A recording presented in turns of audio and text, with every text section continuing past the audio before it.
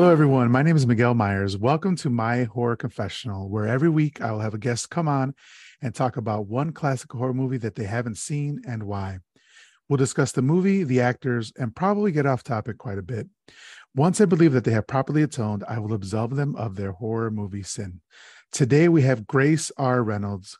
Grace is a native of the, of the great state of New Jersey, where she was first introduced to the eerie and strange thanks to local urban legends of a devil creeping through the Pine Barrens. Since then, her curiosity with things that go bump in the night bloomed into creative expression as a dark poet, horror, and thriller fiction writer. When Grace is not writing, she can be found dreaming up, dreaming up macabre scenarios inspired by the mundane realities of life. Her short story fiction and poetry has been published by various presses, including Brigids Gate Publishing, Creature Publishing, Dark Matter Magazine, Death Knell Press, and more. She is the author of two poetry collections, Lady of the House, which came out in 2021, and The Lies We Weave from 2023, both released by Curious Corvid Publishing. Grace, welcome to the show. Hey, thank you for having me here, Miguel. Yeah, I'm so excited to, ha- uh, to have you on the show. Um, I was talking earlier, and for the Patreon, you can see I have my copy of Lady of the House. I have to kind of tilt it this way because it's not picking up. But No, um, I'll, I'll hold my copy too. Oh yeah, for some reason yours is coming up really easy and mine isn't. But um it was uh so I met you uh at, Ghoulish Book Festival earlier this year and Mhm. we're kind of just talking about what you, what you had and, and you told me the concept behind Lady of the House Mhm. and I was like so intrigued by it and I was like wow that sounds so great. So uh, I was wondering, and I, and I know this is already, like you said, it's already like two years old, and you have new projects going on.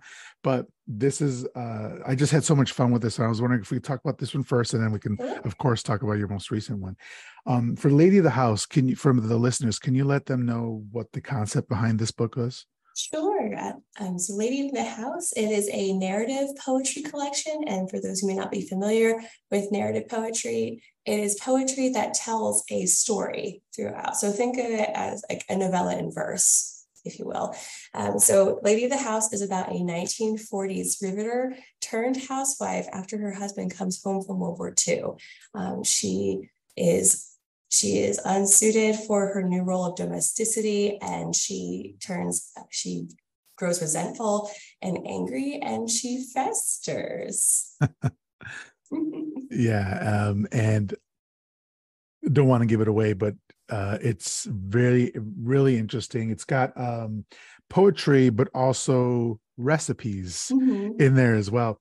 And if I was a better, more put together put together person, I swear to you, I wanted to take one of your recipes, and, and, like make it and like have it like there's a sweet tea one, right? And Mhm. um, and um, I I drink like um unsweetened iced tea. That's for the most part that's what I drink in water. Mhm. Um, so I wanted to make that. It just I I'm I'm not that type of person to be that far advanced, but I wanted to do that. Um, but yeah, so there's uh, poetry in here as well as um, recipes that she's making for her husband, and some of it Mhm. include like uh, fantasies of her, um, including bits of him, pieces of him, and sort of stuff. So Mhm. Uh, it was just so much fun to read. Uh, and I, I read your intro to it, uh, and you were um, you were kind of going over the the, the feeling the, the feeling you should have when you're reading the the, the Mhm. book of poetry. So I was wondering if you could kind of um, tell tell us what what was going through your mind when you wanted to, you know, the process of of thinking up with the book and then writing it.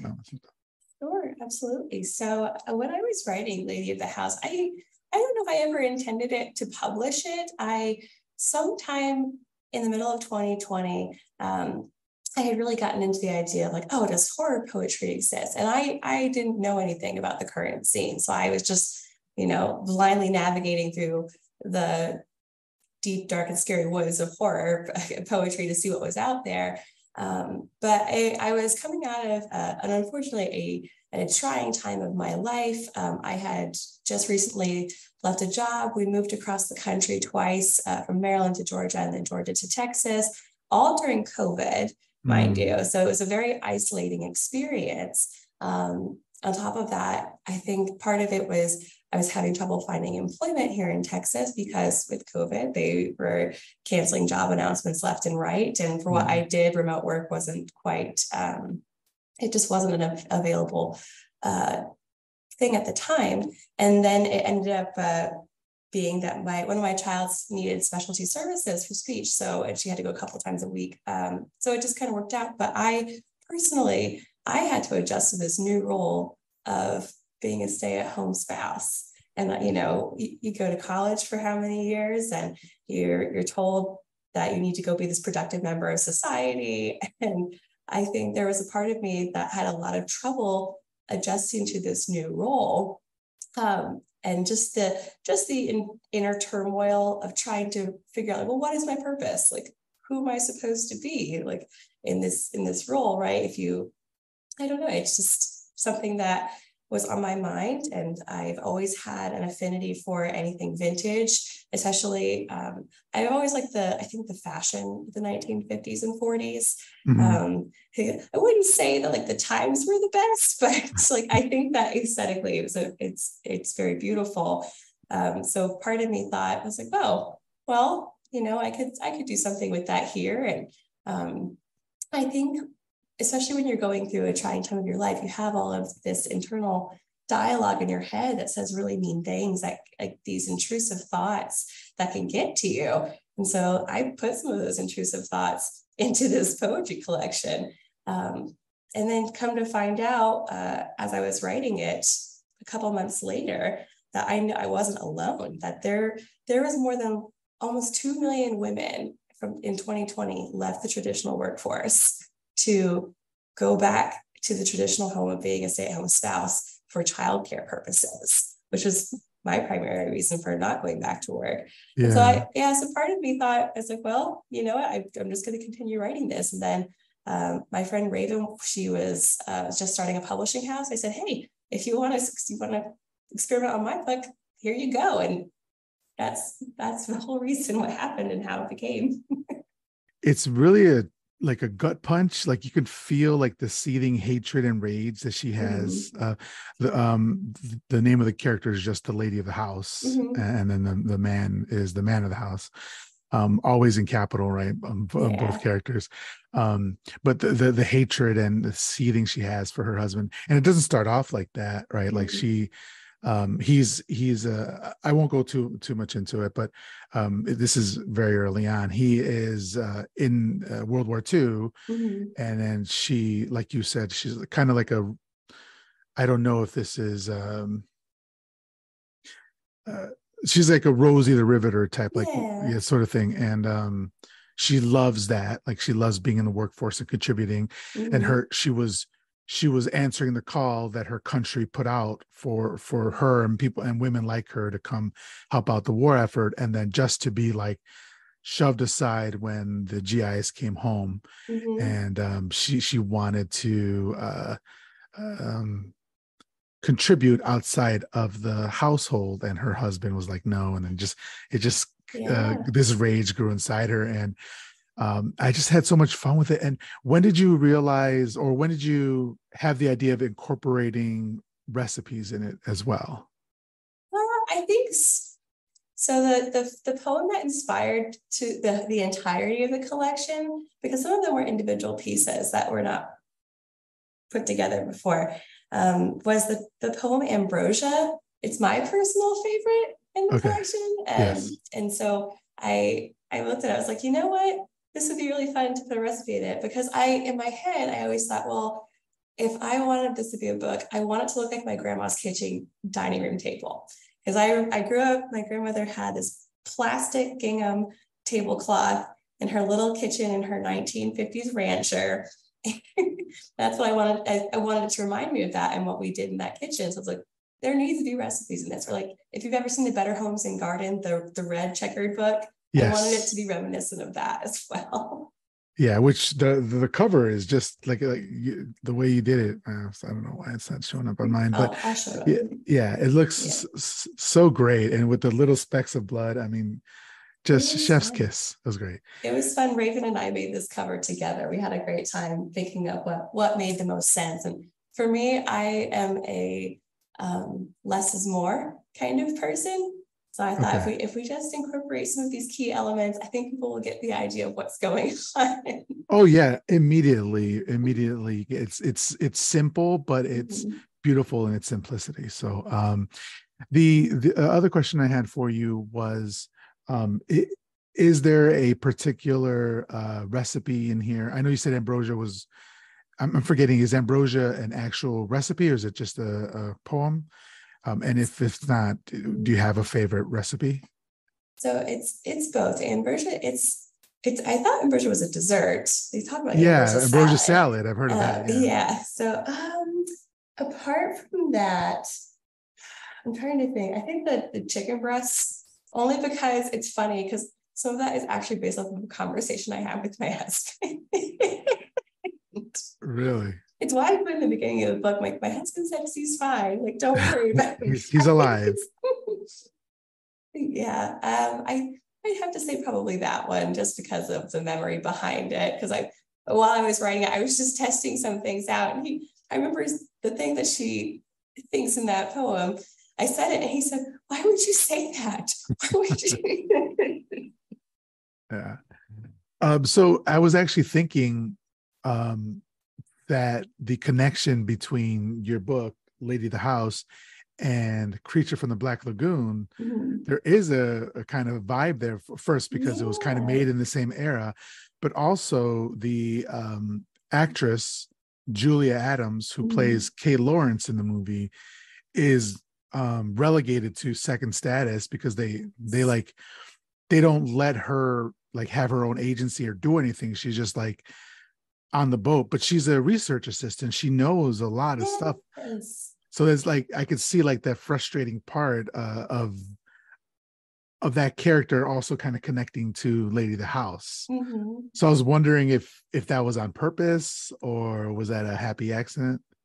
I think I've been happy in terms of the creature from the Black Lagoon. I think that was a happy accident. Yeah. Okay. And so I I've had people ask me before like why I've never given Lady a name, and that was intentional because I wanted I wanted people to see themselves in her shoes without giving her any just as little descriptors as possible.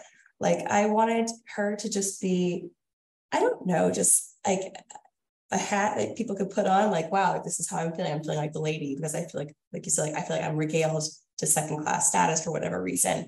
Yeah. Um, and because I think that so many women felt like this post World War II era because many women were shoved out of the traditional workforce um, to let guys come back to their jobs or to assume new jobs.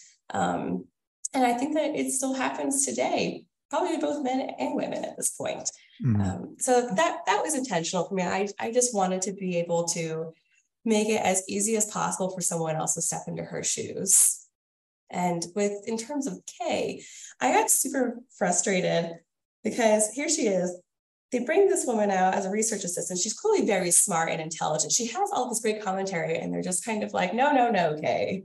Like, step back. it's dangerous step, for you. Step back. It's dangerous. We have a woman on this boat. Step back. like, well, why did you bring her yeah, that was definitely a frustrating part of it. Um, but what you were saying about like kind of the every woman sort of thing, mm-hmm. I, I really, I think that's kind of really important to kind of like the success of the book because it uh, you know I, have had i've had conversations with my wife about that where like you know we're thinking of having a child adopting a child and mm-hmm. and it's like eh, you know you don't want the the, the bulk of the uh, child um, care to go to the woman by default right. sort of thing right and so i think that's a um, a concern, a very real concern and very, yeah. very real thing that's happening in society. Mm-hmm. And it, it like it can apply to any woman, which is, you know, sucks in society, but is great in in in the book, you know. Mm-hmm. Um, so uh my love fest with Lady of the House, uh, I'll end that for a second here. Uh, but I did also want to talk about your most recent um, book, uh, late. I'm sorry, uh, "The Lies We Weave." Yeah, has that been has that been published already? Yes, hopefully the cover shows up. It's a little dark. My publisher and I were talking about potentially reprinting it in a matte cover um, and lightening up the cover a little bit. But if you can't okay. see it, there is a there is an orb weaver spider crawling on it, and the the title "Lies We Weave" is woven into the web itself, which is super cool. Um, but yeah, so the Lies Weave it's, it's a little bit different from Lady of the House, still very feminist in nature, um, but it primarily focuses on um, one, one, one woman's journey, mine, of going um, going from childhood to woman of womanhood and motherhood, and really exploring generational trauma, um, the things that mothers pass down to their daughters, um, and some of the horrors that are woven within um, within that. And it's really a poetry collection that it, it has a lot of macabre flares to it. I very graphic visuals, um, but it's very much in, it's it's it's reclamation and proclamation to not pass down the same things to the next generation. Because I have two daughters myself, and so like especially especially as women, the lies we tell ourselves every day that society tells us who we are, what, what we should be, um, to be everything and more. Insert America Ferrera's monologue from Barbie. um, that's it's it's pretty much it's it's planted ambitions, wounds that never heal, cycles of generational trauma that keep us from breaking free of our turmoil. So I this is primarily written um, from a feminist perspective, but I I also try to write it in a way where if you are not a woman, that there are things in here that you can connect to as well. Um, and I have beautiful artwork in here too.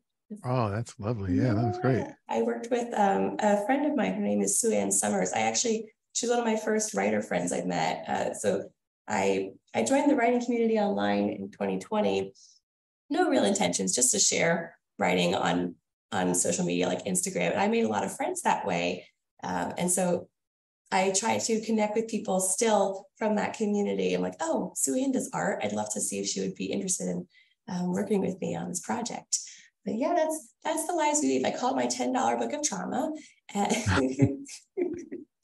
but, but it's um yeah i it's it, it means a lot to me. I think if you have children it might mean a lot to you. And i think if you if you grew up with maybe some misunderstandings with a relative or a caretaker or a parent who um, did not have the best behaviors it may provide some opportunity for introspective of like why did they act that way? Who made them act that way? Where did that come from? And how can I reflect on my toxic behaviors and change something within myself so I don't hurt my children as well? Okay. That was a little long winded. I'm sorry. no, no, I love it. I, I, love to hear. It. Thank you for sharing that.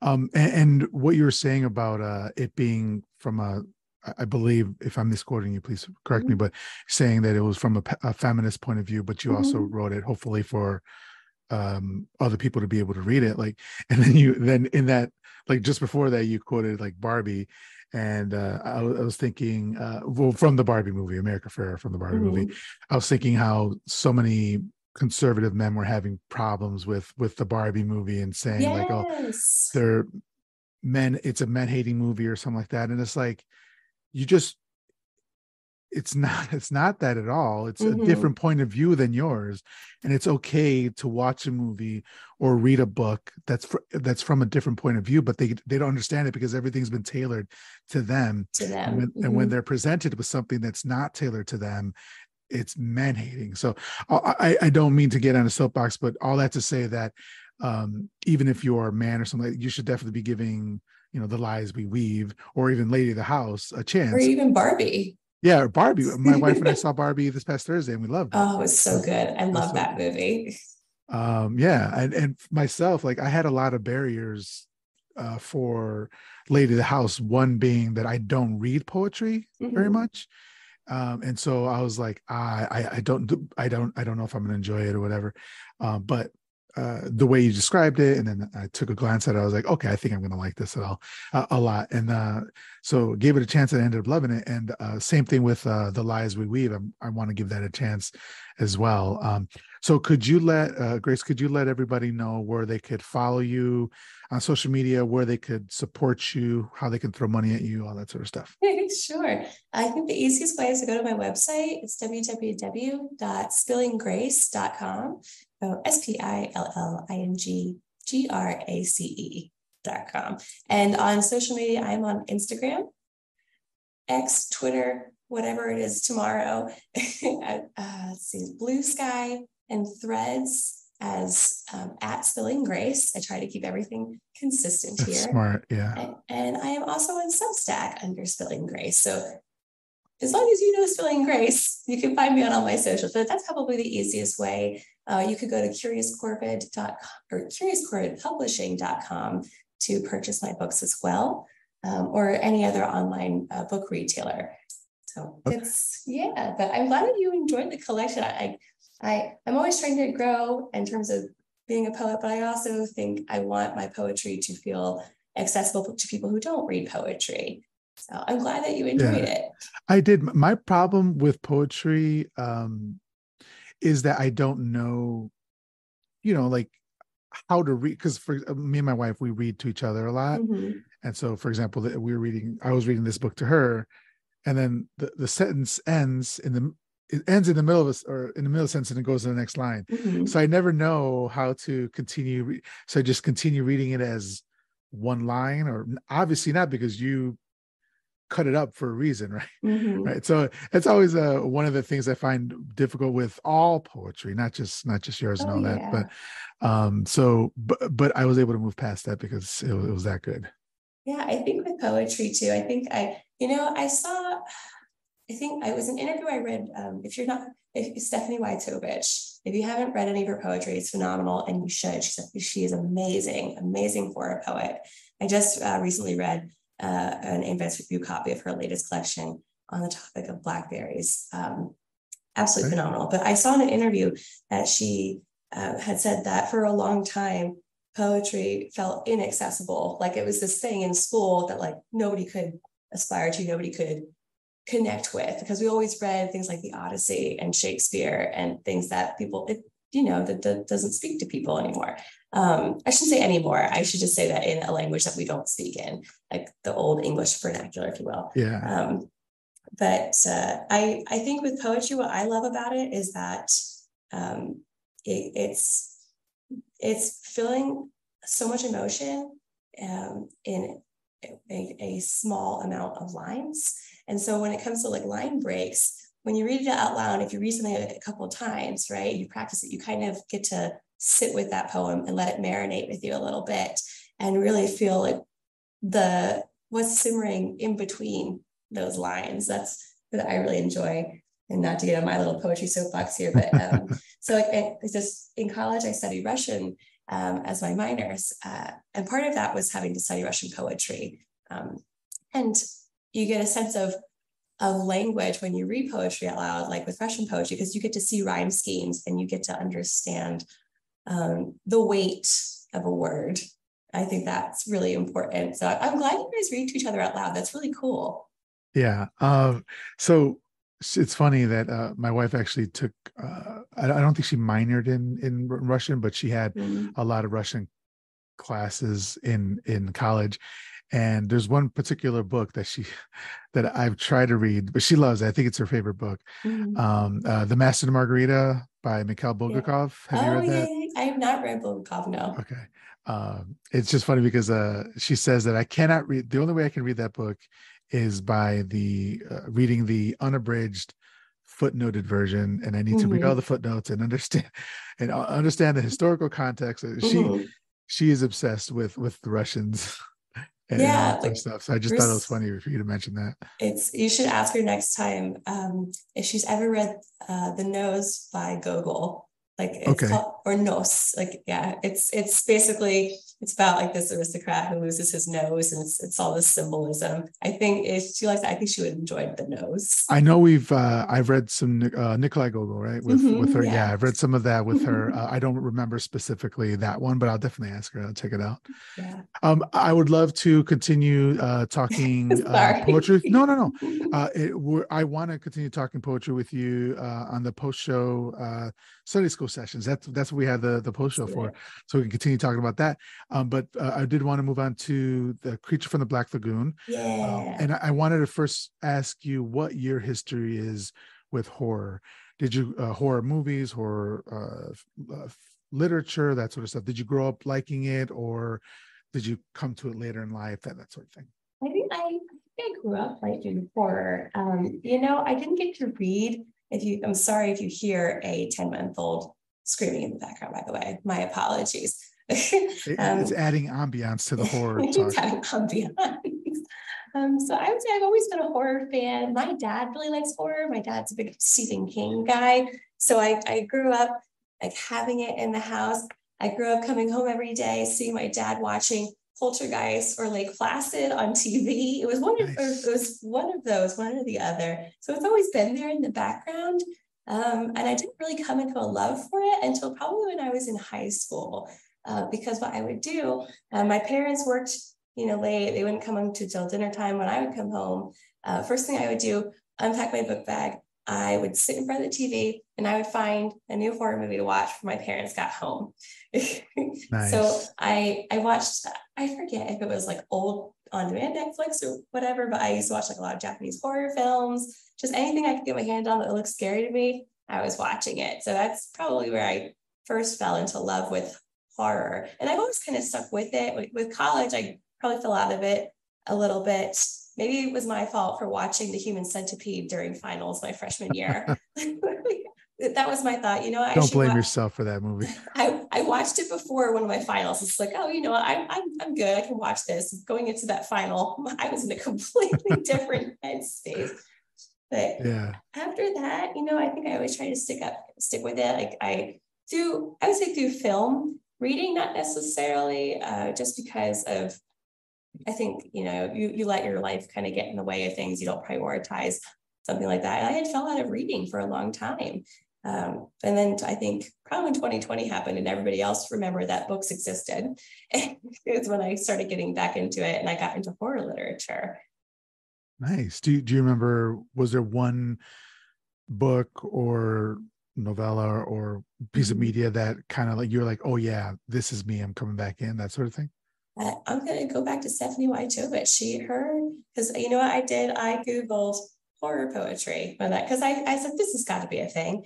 And I bought her collection, Mourning Jewelry, and it's a collection inspired by Victorian mourning jewelry. Uh, so if you don't know, like women would, yeah, I was like, what women would, um, or I, it was very commonplace to take the hair of a deceased person and put it into like a locket or something like that, um, as and like wear as a form of jewelry. Um, and I could okay. be messing that up, but like that's what I'm that's the kind of mourning jewelry I'm familiar with, where like you could get it put, put into a locket. Um, I, I, know that there are other things that they did as well with with hair, but that was a big thing um, post post mortem that they did back then. And I read that, I was like, wow, this is really powerful stuff. So I I came in through the horror poetry track first, um, and then I, uh, I I started reading indie authors and so I, I kind of got connected with uh, Marcus Hawk, who's probably one of the first people I encountered in the indie horror community. He's a Canadian author, and um, he he uh, he he writes short fiction and he has novels. Um, trying to think who else I read. I really got into hmm, like Mona Kabani, if you're familiar with Mona. They are I'm not uh, familiar, they're they're an author out of New York City. Um, they write say they write psychology, horror. But mostly, I would say indie authors that hang out on Instagram is who mm-hmm. I went. I I kind of got exposed to first, and okay. then I think I got a little more traditional in my reading taste, or I should say trad pub in my reading taste. Um, but like I've always, I say the past three years, I've been uh, a repeat fan of like Laurel Hightower, Cynthia Pelayo, um, trying to think who else. Uh, just don't know, like Christina yeah. Sng. Um, and I just reading, just reading new folks as well. Like I like Max Booth. I remember really, really enjoying his literature as well. So I would say right now I'm more interested in indie horror just because I like that there's it feels like there's less parameters with it and that people can be more yeah. expressive. Um, Agreed. Yeah. What are you What are you reading lately? So for me, I've uh, been reading uh, um, Shirley Jackson. I've kind of gone back to her. Okay. Uh, I, I read Shirley Jackson maybe a decade ago. Uh, I read like The Lottery and I read um, uh, The Haunting of Hill House, mm-hmm. but I didn't read any any kind of other stuff, any other offshoots sort of stuff.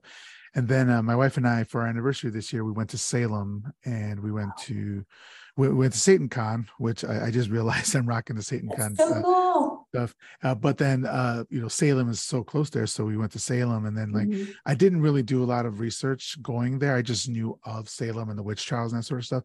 When I got there, I was kind of fascinated with learning the history of it.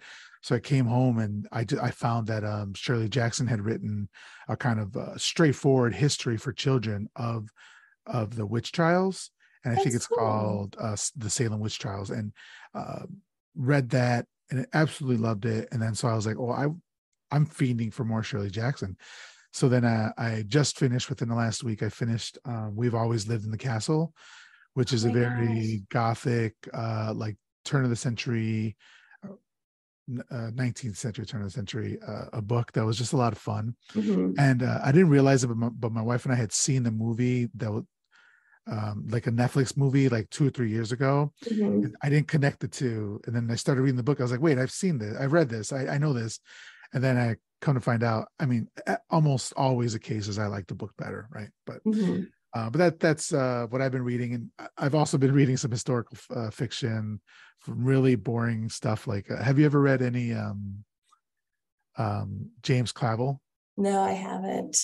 I'm trying to like revisit, I would say classics in horror. Like like Shirley Jackson, I haven't read since high school. We read The Lottery in English class. So like Yeah. I sometimes I feel, I guess, not as I, I guess I, I just don't know as much as other authors. Like I, I I'm calling it homework from Bob Pastorella because at cool at Ghoulish he gave me all these recommendations. Like I've been reading books of blood, I've listening to Danse Macabre, and so I Yeah.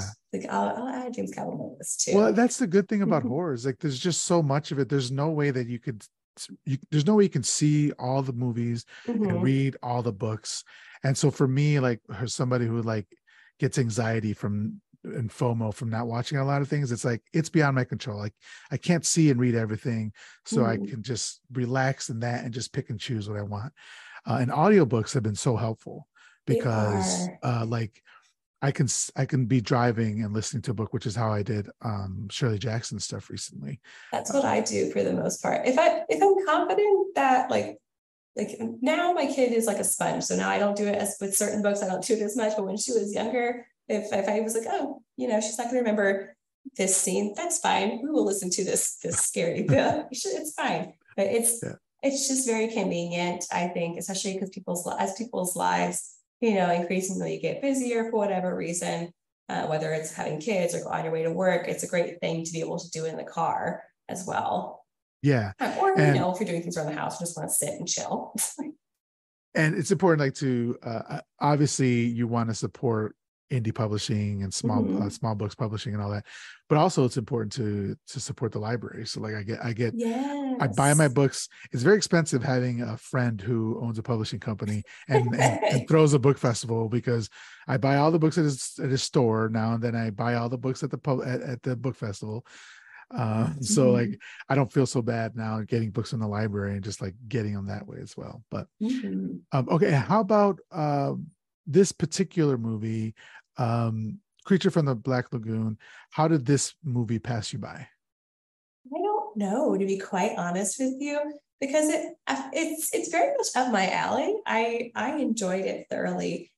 I think I just had I don't know how I think I just kind of ignored some of uh, the classic horror movies I saw years ago, and you might be more familiar than I am. It was it was a like 1930s or 40s classic horror movie set in a castle. Um, and like a murder happens and like all these paranormal thing, like, things happen um I, I think maybe just for a while I just was I think I just haven't been into creature features for a hot minute. And I now I it. and now I think I but I think I'm gravitating towards them more again. Um so like I was thinking about like Frankenstein. So should I be reading Frankenstein this year? Because I love, I love that book. Um, but I've never seen the movie. so I and it's I I I told you about Creature of the Black Lagoon because I recently went to um, a book signing for The Legend of Charlie Fish by Josh Rountree. Okay. And so it's uh it's it, the the blurb from Joe Lansdale is odd, creepy, funny. The Black Lagoon meets the Six Gun Universe. You need this. Um, and so I was like, you know what? Like I, it's a sign, creature from the Black Lagoon, let's do it. Um, but it, I've always just thought of uh, the creature, or now I know as Gillman, as this iconic monster of horror. Um, it's a, yeah, I know. I'm so glad that we're doing this because I I loved this movie. Awesome. That's that's great to hear. Um, and it actually it's actually it's pronounced Gilman. Gilman. Gilman. Gilman. Gilman. No, I'm just kidding. I'm just kidding. it's he's Johnny Gilman. it's Gilman Von Trapp. So, all right. So, I, you're um, obviously we've said it a bunch of times now. You are on to confess your sin, your Mhm. quote sin of never having watched Creature from the Black Lagoon, um, and I believe that's from 1954. Mhm. Yeah. Okay. So, uh, I'm gonna get into it a little bit, then we'll start talking about the movie. A real quick plot summary for people who haven't seen it. Um, geologist Dr. Carl Maia, I believe is how it's pronounced Mhm. is on an expedition in the uh, upper Amazon basin and he discovers a fossil embedded in some rock. And we're going to talk about that in a second. Mhm. Yes, we Uh, are. the claw of an unknown creature, which demonstrates that whatever it was was very powerful. Uh, with characteristics of, of the creature being amphibious, he consults with a former student, uh, former student, who is an ichthyologist uh, by the name of Dr. David Reed, who is currently working for Marine Biology Institute in Brazil.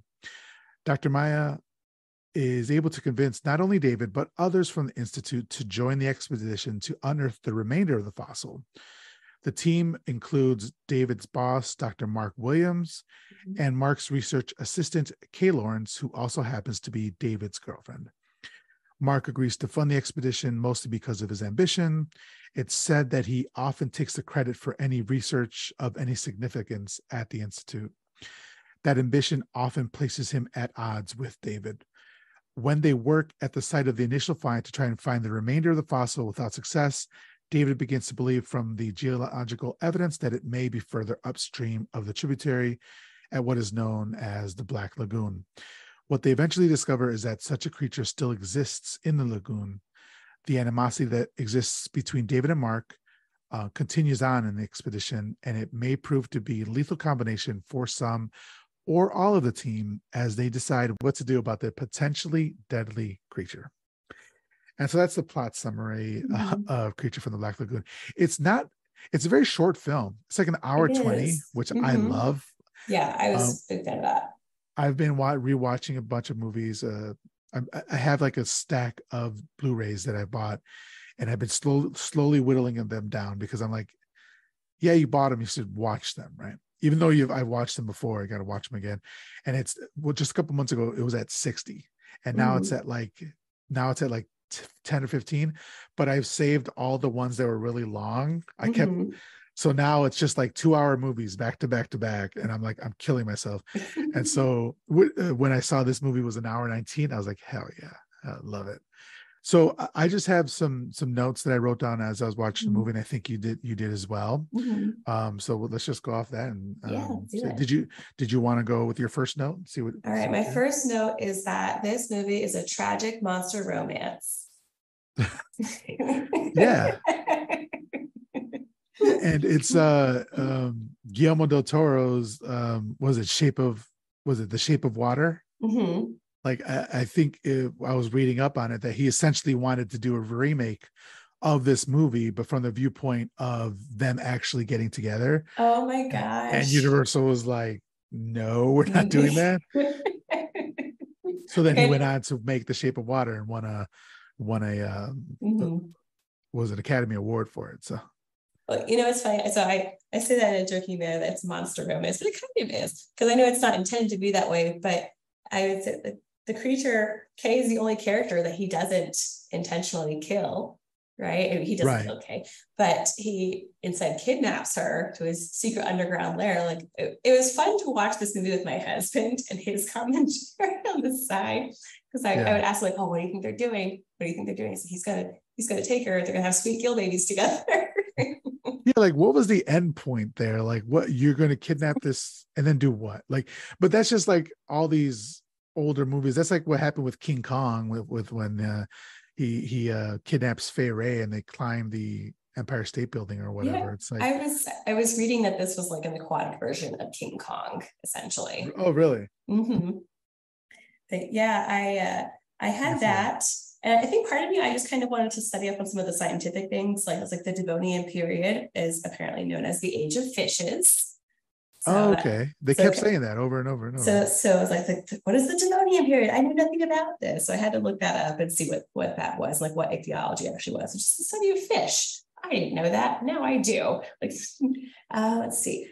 Um, I got frustrated. I was like, well, I didn't mention, or I didn't Lucas mention the Gillman sooner because he clearly knew about this legend. And when they, when uh, Dr. Maia comes back to um, his archaeology or archaeology site, is that right, or just his research camp? Archaeology um, site, yeah, dig site, yeah. And he sees that is that Luis and Tomas have been have been murdered. The first thing they're like, oh yeah, it's a jaguar, not this this man that lives in the lake potentially that I conveniently would forget to tell you about until we were in the middle of danger.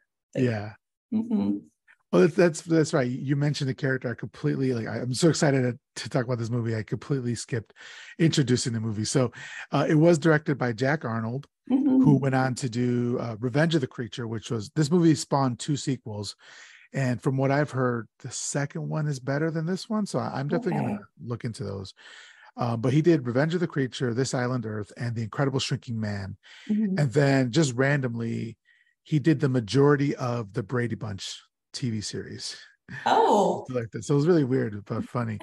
Uh, and then also starting starring Julia Adams as Kay Lawrence. Mm-hmm. What have how, what have I seen her in? Because I I know her name, I know her face. I I don't know why I can't remember what else she's um, done. So she became a really prolific TV actress. So you might mm-hmm. have seen her in something, but uh, she was in Code Red, which is a was which sorry, which was a big TV show, I believe, in the 70s. And then she was in a bunch of Murder She Wrote. Okay. So if you ever watched those, um, but as far as movies, I um, I think sh- she kind of transitioned from movies to TV shows mm-hmm. and just mm-hmm. kind of dominated TV for the rest of her, the remaining of her career. Um, and then we had Richard Carlson as Dr. David Reed. He was in It Came from Outer Space as well. Mm-hmm. Um, Richard Denning as Mark Williams, Dr. Mark Williams, he was in An Affair to Remember. Mm-hmm. Uh, Antonio Moreno as Dr. Carl Maia, uh, or Maia, he was in The Searchers. Nestor Paiva as Captain Lucas, he was in Let's Kill Uncle, which is a William Castle movie, which is so fucking good. It's so good. Um, and then two more people I wanted to talk about Ricou Browning. Mm-hmm. He's Gillman for the underwater sequences. Mm-hmm. Um, and he was in the sequels Revenge of the Creature from 55 and The Creature Walks Among Us from 56. He died like six months ago. Oh he died gosh. earlier this year, February 27th of this year. He was the last, from what I'm, from what I saw, I may be incorrect, uh, but I believe he was the last remaining actor connected to this movie to pass away. Wow. Yeah talk about a long life. I mean, like, I'm, I'm sorry for his passing, but I mean, yeah, all the things he's seen. I think he was 90 years old, around 90 years old. Mm-hmm. So, and then Ben Chapman as Gillman, but on land. So they kind of broke it up into two two people uh, sharing the the role. Uh, mm-hmm. Uh, uh, and then also the screenplay was by Harry Essex, who wrote It Came from Outer Space, Arthur Ross, who wrote The Great Race, and Maurice Zimm, who wrote Jeopardy. So that's the. Did you see um, Hero Jeopardy? The movie Jeopardy. I was gonna say, it's like wait a yeah. minute, like. Yeah, he yeah he, he was the one who would write all the you know uh, potent potables. That was him. He came up with that. Uh, all right, so my first note is that there's a really uh, that I really love the intro score. Mm-hmm. It's like mm-hmm. immediately old school vibes. Like it reminds me of RKO Movie Pictures, which is this uh, older studio company. I think they were the ones that did um the original The Thing, and then they did uh, King Kong, that sort of stuff. So it just kind of puts me in the mood for this kind of black and white horror movie that I'm going to watch. And this was only the second time I've seen this movie. The first time I saw it was with my wife about three years ago at the Draft House. Um, they put on they they showed it in original in its in its original format, which was 3D. So this movie was shot in 3D. That's cool. I didn't know that. Over. Yeah, it was just transferred over to regular. So we saw it at the Draft House in 3D format uh, in a new, I think it was a 4K restoration. It looked amazing, and I absolutely loved it. And um, not seeing it in 3D kind of brought it down a little bit for me, but still a great, absolutely great movie. Um, but yeah, so that's the I was already in in the like sensing the old school vibes with the music. And then really, I, I completely forgot about this. I was not expecting that like biblical, like Bible meets theory of evolution beginning, mm-hmm. like yeah. in the beginning sort of thing, the narration, it combines both creation and evolution. I was like, oh, you're trying to make sure that I don't know, they were trying to make sure nobody was angry at them or something. Yeah, I I I'm glad you brought that up. That was something that I noticed too. Um, just because I don't, I, I personally don't know what um, people thought back in the 1950s about how old the earth was um, and like how much religion had to play into that. Um, but I, I do, I do think that you're right. It was trying to appease uh, some another crowd just because of um, just the fire and brimstone, making sure yeah. that we're like, like God did this. God made the Gill Man. yeah, uh, and then um, kind of like what you were talking about with the what was the era that that you said you looked up the the Devonian period. The Devonian period. Okay. They also talked about um, after they found the hand and they brought it to the, the, the research team, they're like, "Oh, is this perhaps a Pleistocene?" I knew oh, I was gonna mess it up. Pleistocene man, mm-hmm. and I was like, "What the heck is a Pleistocene man?" So I looked that up as well, and from Wikipedia, it says it's referred to colloquial, colloquially as the Ice Age. Oh, okay. Yeah, Is that why they like frozen? I, I heard like something frozen when they were at the site. Yeah. And so it's the geo, geograph, I'm sorry, geological epoch that lasted from 2.5 million um, to 11.7, I believe, maybe million years ago spanning the Earth's most recent period of repeated glaciations. The end of the Pleistocene uh, era, era corresponds with the end of the last glacial period and also with the end of the Paleolithic age used in archaeology. The name is a combination of ancient Greek, pleistos meaning most, and kainos meaning new. So hmm. most new. So that's what the Pleistocene man was. Uh, so, um, and I thought okay, let's talk about how they found this fossil. It's just the hand of uh, uh of the creature mm-hmm. just sticking out of the rock.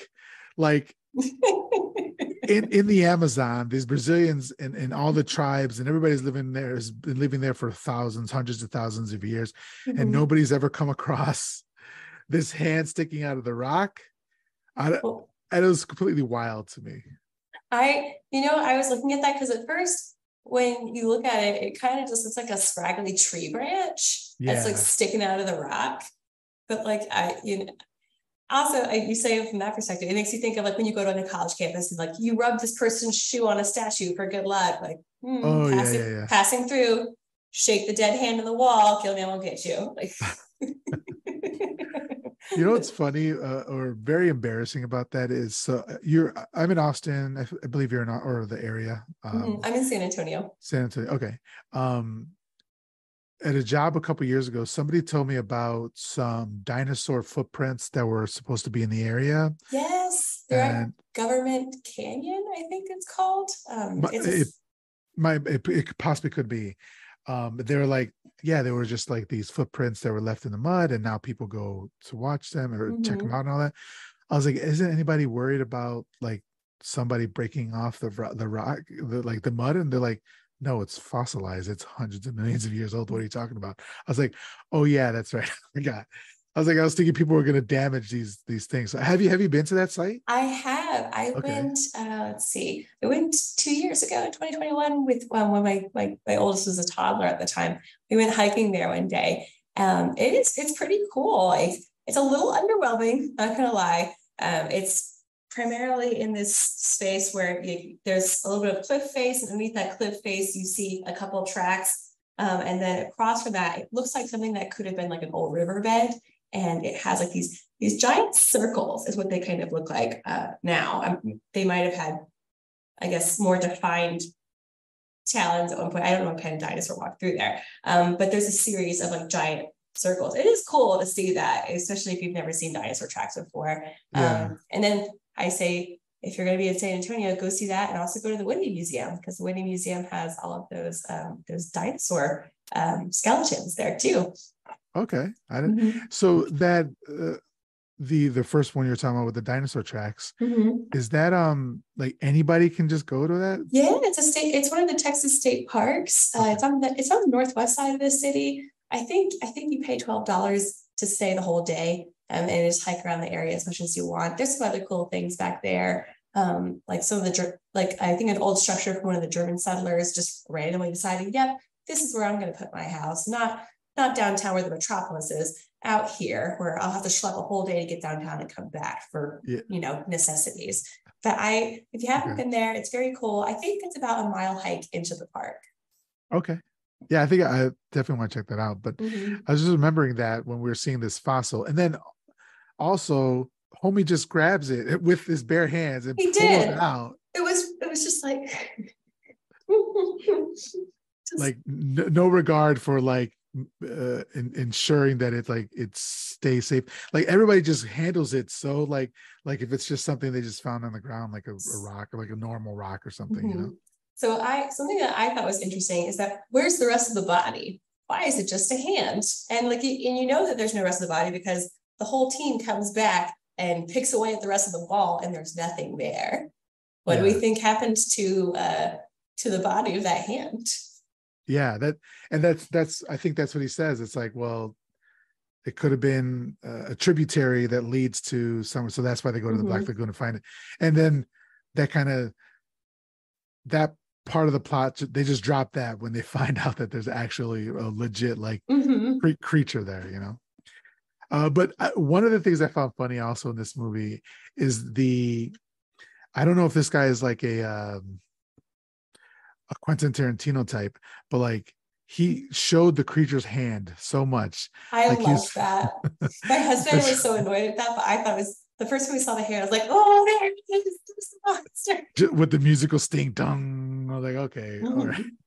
And Every time it kept happening, but there was some real cool time, uh, cool times that that happened. For example, there was a scene that like Spielberg kind of ripped off for for Jaws. Mm. you know, where she's uh, where Kay is like kind of like the only scene that she gets to herself, and it's of course it's like her showing off Where her swimming the swimming suit. I'm glad that she Yeah. actually did swim because when before she got in the water, I was like, what is she doing? Why is she wearing a bathing suit on top of the water? What is she just gonna watch them in her bathing suit and like Yeah. come back to the water? but did you notice that she was serving looks throughout the whole movie? Like she She was. I was she thinking, I was brought like, like a whole like a whole wardrobe.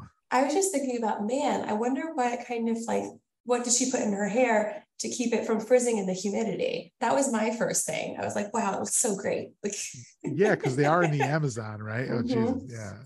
You know, I found out this actually this morning. I found out because I put on Twitter. I was watching this last night, and um, Kay- Kaylee Scholes. So she her her book uh, Saint Grit is actually it's coming out through Ghoulish. Yeah. Um, She's She going to be on the show later on this month, I believe. so she so she told me it was filmed in Florida. I was like, I was wondering where it was filmed because it reminded me of the place where you can go in Florida to swim with the manatees. And I got to do. I lived in Florida for a very brief period of my life. Um, and my dad uh, took me to go swimming with the manatees with a cousin of mine and uh, my aunt. And it, it, I, I, I wonder if it's there because I think it's called Silver Spring State Park. And there is this cool, it's a lagoon that you can swim in. It has all these cool cliff faces that the, the manatees just hang out in. And it looked just like that. And so I'm glad that she validated that for me. Cause I was like, where I was like, where would they have filmed this? I was like, cause I don't know in the 1950s if they would have had the budget to film all of this in Brazil. I was Right. like, I thought it was Louisiana at first. Uh, but then I saw palm trees. I was like, well, I don't know if they're gonna have that in the swamps in the bayou. So the, yeah, it's it's it's a it's a real place for most women manatees. Go to Yeah. go to Florida. Are manatees the ones that they think um, the, the story of mermaids came from? I think so. Yeah, Yeah, they're okay. they're so they're so cute too. Like they're and it's always heartbreaking when you see like a a cut on them from a boat. It's it looks it looks like battle scars all over them. They're very sweet creatures. Ah, have you seen? Speaking of human centipede, have you seen? Have you seen Tusk? No, I haven't. Okay, have you heard of it? I've you heard familiar of with it? Okay, okay. And that's all we'll say about that. Uh, all right. So, do you have any notes uh, that you wanted to bring up? Let's see. We can, Um, go, we can go note for note here. I'm going to go back to the captain of the boat, Lucas. that fellow played by Nestor, is it Paiva Paiva? Um, Sounds right to me. uh, I, I, I just keep thinking about how he did everybody a disservice by not telling them about the Gillman before they go downstream to the Mhm. Black Lagoon. Right. It's like, why, why do you think that was like, do you think that was a fact conveniently left out? Like, do you think he just wanted to see what would happen? He's like, you know what, they're getting my nerves. I'm gonna drop them off the lagoon and go. He's probably like bored, right? Because they, they at one point they said they'd been there for eight days and they hadn't Mhm. found anything. So he's like, or maybe they hired him per, per day and they were about to like give up. And so he's like, okay, I'm not going to tell them not to go down there. He's got a, he's got a daily rate. He's got to keep that. yeah, exactly. He's got to keep up with the maintenance of the Rita. Um, and then did you have you, this movie? Like, I, th- I think Anaconda ripped off Creature from the Black Lagoon. I never saw Anaconda because I thought it just looked so absurd. And I, I, I have, I, I have a fine line between movies that look totally absurd and like, wow, that looks funny. I'm gonna go watch that. Like, it's like there's Yeah, some things like that looks dumb. I don't want to see that. So I'm money on that. So um at the end of the episode, what I what I do is um I I give you a recommendation of a Mhm. movie that's in like in the same vein as this, Mhm. and then I ask for a recommendation from you. Okay. Uh, and so I've already had two so far. oh of no. Just ta- talking from you of a recommendation I might have. Anaconda is one of them, but I'm going to save the other one uh, for surprise. And I'm not sure which one I'm going to go with so far, but I'm taking notes here. Uh, but but yeah, this movie you haven't seen Anaconda, but it's basically the same premise. Just take out Creature of the Black Lagoon and Mhm. throw in an Anaconda and Jennifer Lopez, and then you got you got uh you got Anaconda. Um, but I, I enjoyed Anaconda. It was fun. Uh, Mhm. also, I was a teenager when I first saw it, and I was in love with Jennifer Lopez, so that probably had something to do with it as well. Um, okay, uh, wh- what's uh, uh next quote? Uh, next note you had? Let's see. Okay. So we see in various scenes how um, I guess Dr. Williams, he gets his harpoon out and is like, he shoots the Gillman like a couple times. Why do you think the Gillman is impervious to harpoons, but not bullets? Right. Like that's right. what, like the end of the movie, I was like, wait a minute. I was like, this is what this is what takes takes me out for real. Like not the spears, the things that could go through. And I when I saw that spear gun, because like Kay and is it David? Yeah, Kay and Yeah. David were just chilling, minding their own business, being all lovey dovey. Mhm. And then Mark comes in, like just The holding that spear, yeah, holding that spear gun, and I'm like, oh, there's no way that the spear gun spear gun comes back in the movie, Mhm. right? But obviously, of course, it does. Um, but I started to realize that um, the creature is like Michael Myers. Like he he get he gets shot with the spear gun and just keeps on moving. He's like Yeah. any any kind of sort of slasher Really he rip, gets- rips it out of his body and keeps and just going. it just keeps going like a Jason type or something like that. Mhm. Um, and then but he does get shot, and we in this movie, he he floats down and it is perceived. I don't want to say that Gilman's dead. I don't know. I couldn't make I my guess he can't be dead if there's sequels, right? well, it could be like son of Gilman. You, you never know. It's the 50s, right? But I couldn't fix my lips to say he was dead, but Mhm. he floats down and we we believe that it might be the end for Gilman. Mhm. But um, but before that happened, I was like, yo, he's like a straight up slasher, like a Michael Myers type or something. He's just taking these. Uh, but yeah, spears do nothing to him. Bullets will kill him. But if he took six shots, which is what Michael Myers took, then I think I might have a new It- favorite movie. It reminds me of like, um, you know, this is the nerd me. In dragon lore, how you how you have like their hi- their hides are so they're so tough, they're impenetrable. But if you find like the one the one scale under their belly that that can you, you find the weakness, it's like uh the Hobbit, like Smog or Smaug, Smaug, Smog, like the the dragon from the Hobbit. Um, that's what it reminds me. I was like uh, I don't know if he gets shot from the front or whatever, but I was like, maybe he just has that soft underbelly that makes him vulnerable to such things. Yeah. Well, when he's standing, it's all underbelly. Did you see he also gets shot in the head? Yeah, that's pretty rough. He gets shot in the head. He's, Yeah, he- just- He went through it. I mean, realistically, he's not a monster. He's just an animal. Like you wouldn't call like a lion or a tiger a monster. They're just Mm-hmm. Animals that they don't know He's what the heck they're doing, you know? yeah, and he he doesn't understand why these these things are in his lagoon. He's protecting his space, his fish friends. They kill his friends. Like think about it. They kill his little fish friends because they dump all that white powder. Is it? I forget what the powder is called that they they pour into the water. Rotanon. Rotin, rotenone. Is that a real thing? I just yeah, I looked it up. It is a real thing. okay, rotenone. I'm like writing a little bit up to myself about that for future stories. Am I right? okay. But like they they kill all his little friends because you don't see him eating fish. Like he's not. I mean, maybe he eats fish. I don't know what his diet looks like, but Yeah. to kill if he does eat fish, they're killing his food source. So that's kind of rude. Um, yeah, I, I, you know, I get a little sense of sympathy for the Gilman watching it because he was just minding his own business, and everybody up in there comes in his space, and you know, he there he perceives them as a threat, and honestly, right, rightly so. Yeah. so he's just trying to get rid of that threat. My only problem with the Gilman or with Gilman is the choice of his first his initial victims, which were Mm. all uh the locals, the Brazilians that were Yeah. helping him out. Mhm. I was like, I get it, but when are we going to start killing some white men here? Please. They're the ones who, who are funding this expedition. I, I thought, well, you know, what my husband said he when we were watching it, he's like, "What?" It's like, we're, he's like, "We're just not going to bury them. Like, we're, we're not going to like, well, like screw them, I guess." And like, we don't think anything about like uh, Luis Tomas. Um, is it Z that gets killed? Like one of the guy's brothers. The poor Yeah. guy's like, "My brother got taken overboard." And Mark's like, "We need to go get him for science." Nah, like doesn't care. And then that guy, so Z's brother dies, and then Z Mhm. dies as well. Mhm, yeah, So that whole family was wiped out. It's horrible. somewhere in the Amazon, there's a family who's like their lore is that half of the family was wiped out by the, The creature from the Black Lagoon. Yeah, Gilman. I, I think we should start calling him Gilman, by the way. I Gilman, think it's Gilman. it's easier, right? Yeah. it's just easier. I was rooting for Mark to be killed like from the moment I saw him. I was like, Oh. that dude needs to die. I, as soon as I saw him, I was like, "Oh, he's going to be a problem. He's going to be, he's going to be a problem." And he actually was the problem. he, he But, was the problem. um, I said my note here was, uh, "Mark's going to be a problem, isn't he?" He- yeah, he actually was.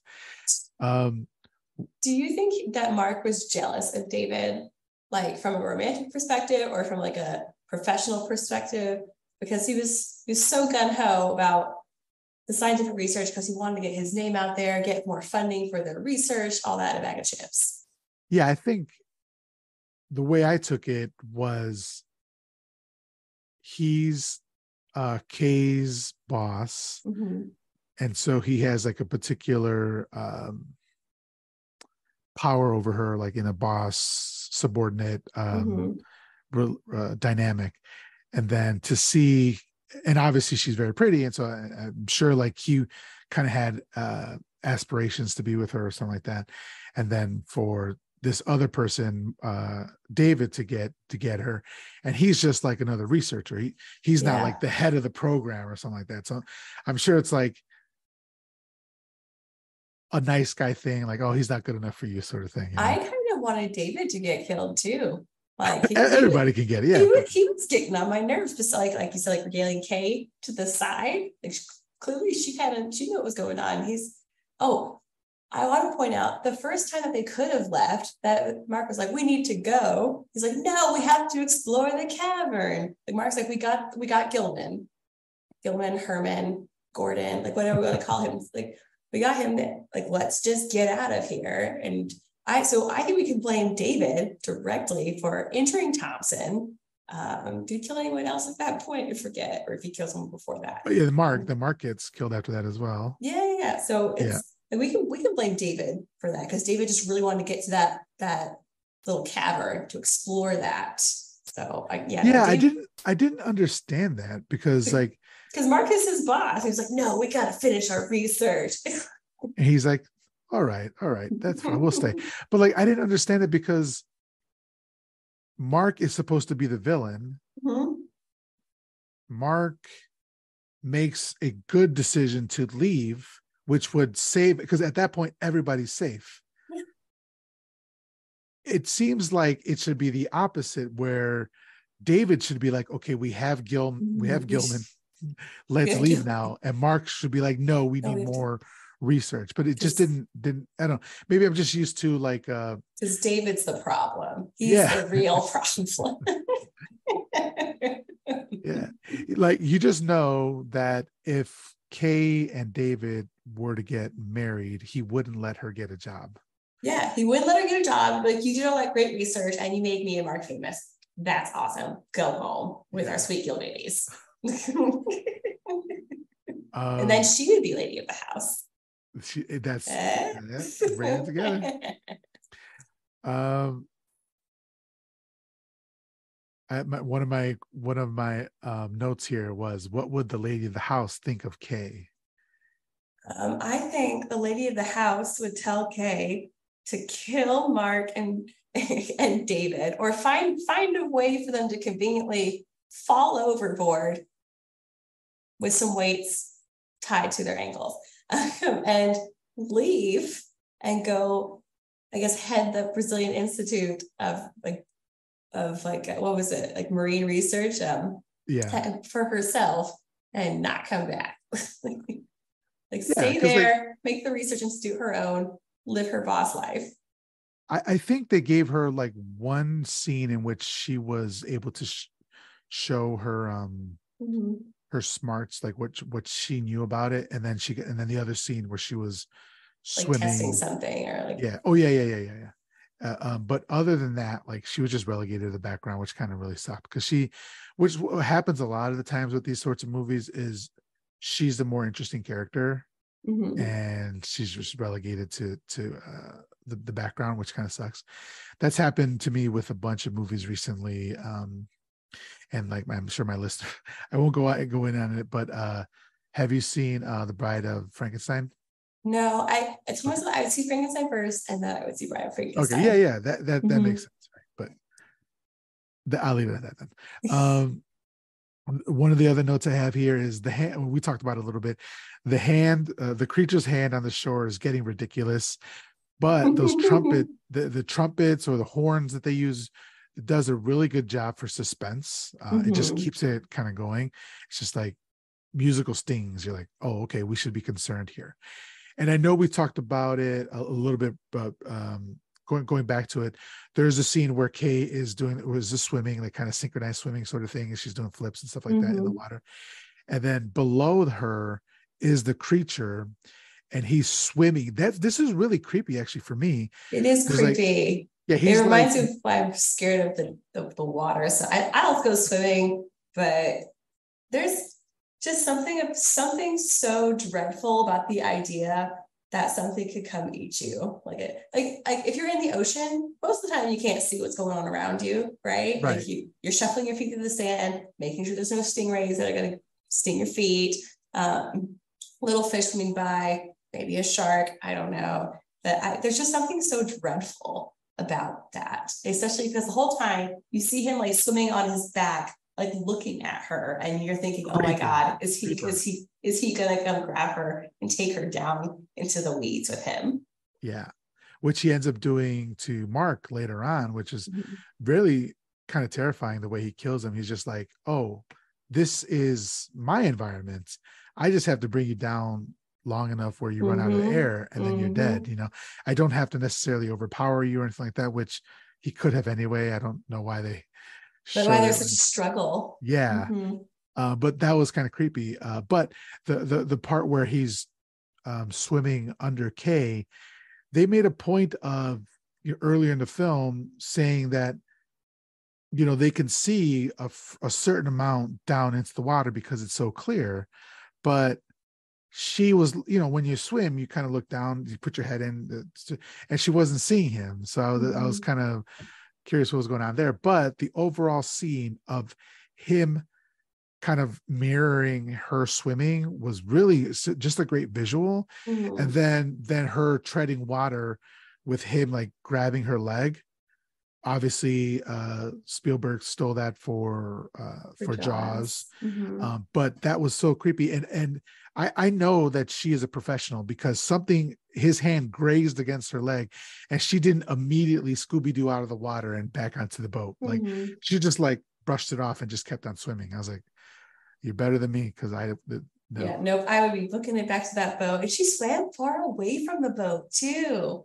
Yeah, like, it's like I, I would be sticking around. I would be waiting. I would just be waiting in the water, like this is nice. Okay, go back up the ladder now, ready to go. I oh, I I always I I call it a monster romance because I that scene I think is a very romantic scene. because he's looking at her with he's like, wow, look at this beautiful creature. She could be mine. Like it's So do you think this is where Guillermo del Toro was like, hmm? I do. I, I, I think that's the that was the moment. He's like, there's something here. It's like the Phantom of the Opera, where the Phantom he looks from the he's he's always watching. Um, oh my gosh, I, I I'm drawing a blank on her name.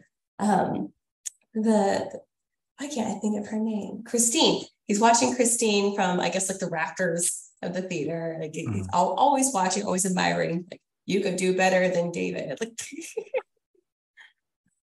yeah. Um, and and then there were some really cool shots of underwater underwater shots here. There was a separate director for the underwater scenes. Um, I'm blanking on the name right now. I'll, I'll, look it up in a little bit. I thought that was really amazing. Like yeah, it, just the time period it's basically like a fictionalized horror movie and an underwater documentary mm-hmm. like mixed into one because the shots were just fantastic it looked beautiful mm-hmm. it felt like another world um, it just uh, yeah I just i really enjoyed every time they were underneath the water all the scenes of it and um, there's at one point where david got his little like uh player game on and like went down and cut off. It wasn't a wasn't a flower, but it was like a plant. The plant. I think yeah. that pissed Gilman off. I think that was Gilman's plant because, like, he like, yeah. he, he's like, "You took my plant."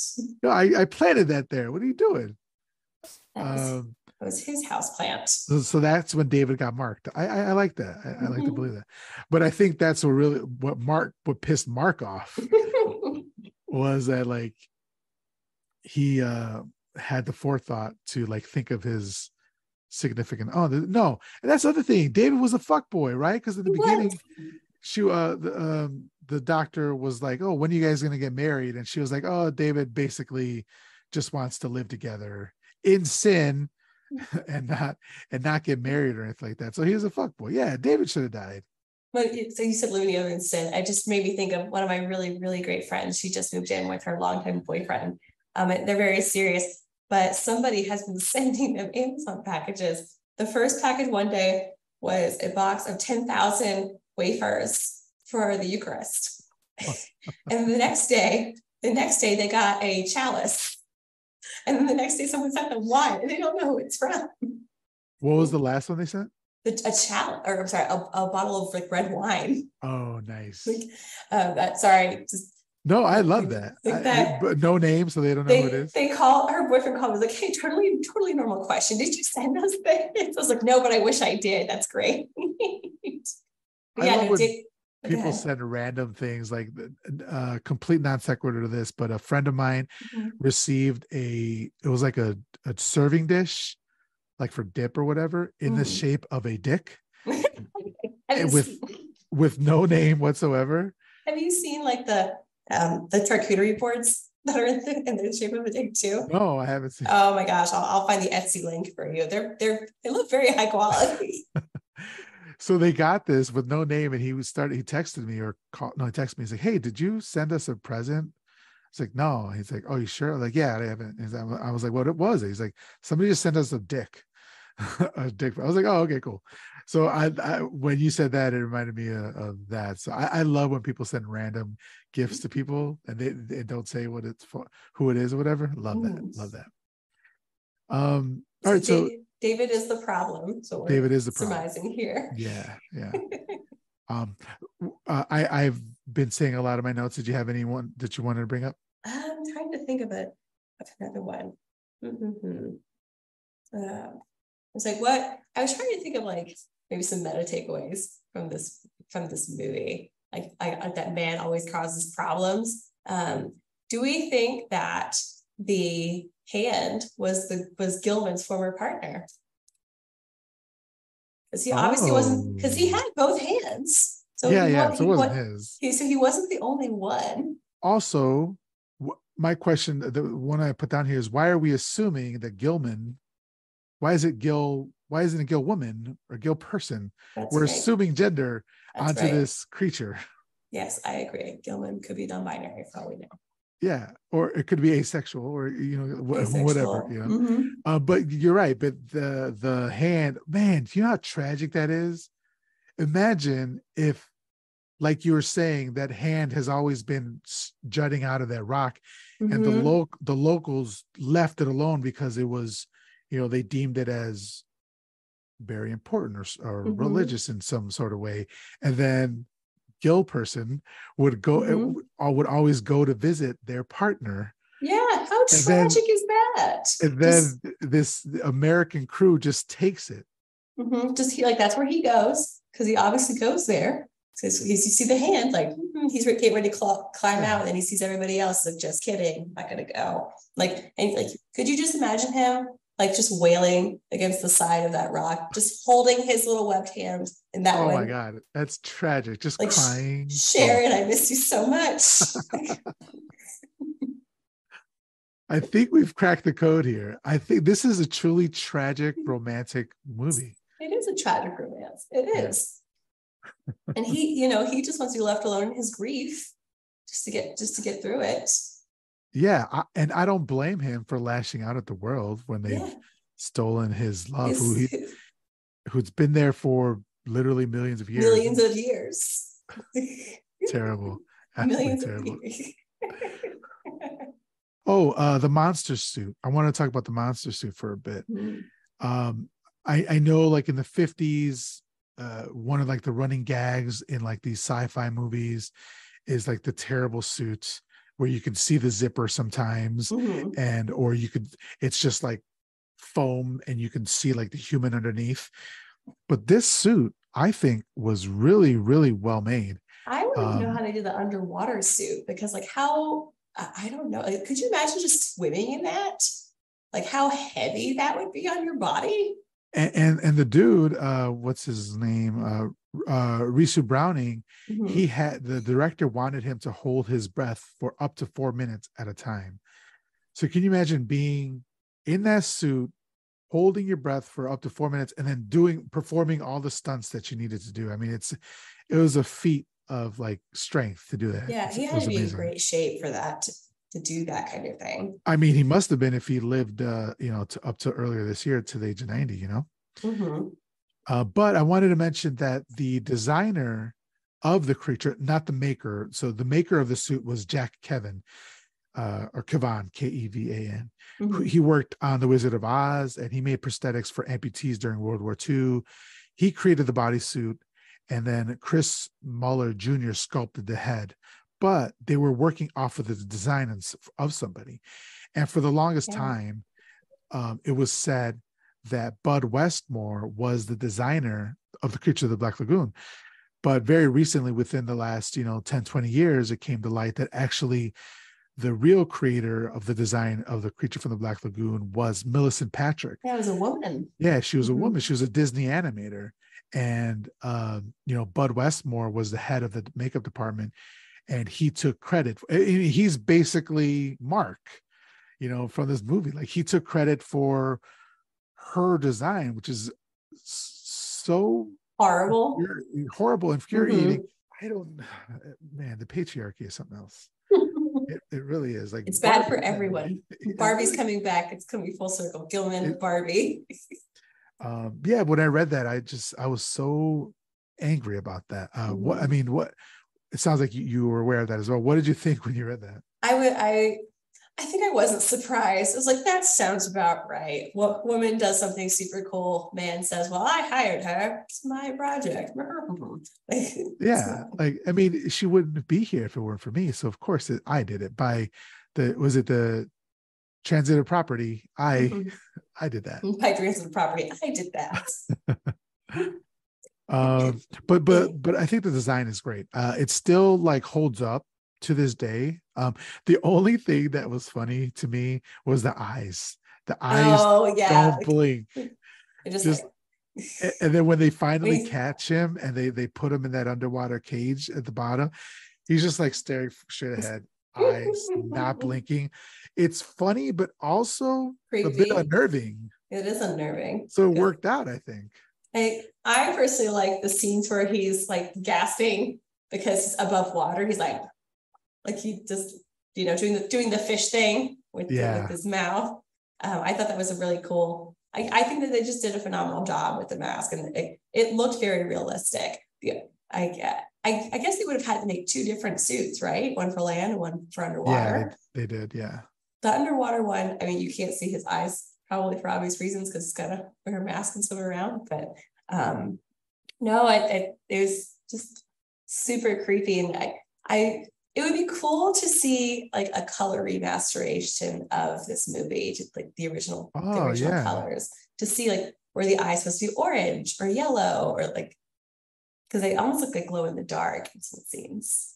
I think that'd be really fun. Mhm. I mean, like especially like in all the artwork that we have for it, like the artwork that you have on on your screen, Mhm. and uh, they, it's colored. So I wonder if they did they did that. I would definitely uh check that out. that would be really cool to see. I I I enjoyed that aspect of it. And I keep thinking of like the cinematography of it too, like how well it's done.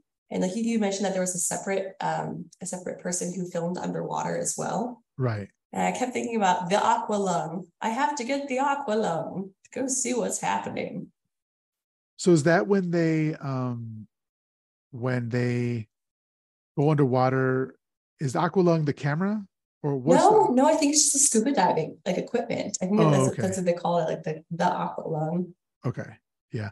Um, I know uh at one point they go down to the bottom and they're trying to take pictures of him and they have this like rudimentary, like this old camera that underwater camera. Yes. Mhm. And uh I didn't think that they had that uh I technology back then, you know? It is surprising what they had back then. It's like I for Lady House, I had to look up like when garbage disposals were created. Like they were created, I think, might have been like 1952. Like uh, just the things that they thought of back then. I to me, it also seems like the 1950s just movies from that era. A lot of them are like very sci-fi based too, because like they're coming out of World War II. They're entering the space age, if you will. Um, so I, I wonder if like some of these machines came about because of something like that. Yeah. Um that not to focus too much on it, but that's that uh poem with, with the uh what's it called? The um Oh, the garbage disposal. garbage disposal. disposal. Yeah. Quality stuff. That, that is a that is a real fear of mine. Like, like truly, I I I, I asked my husband like, you don't you don't get worried about your hay getting stuck in there? And he's like, no. I was like, oh my god, what's it like to live without intrusive thoughts? That's amazing.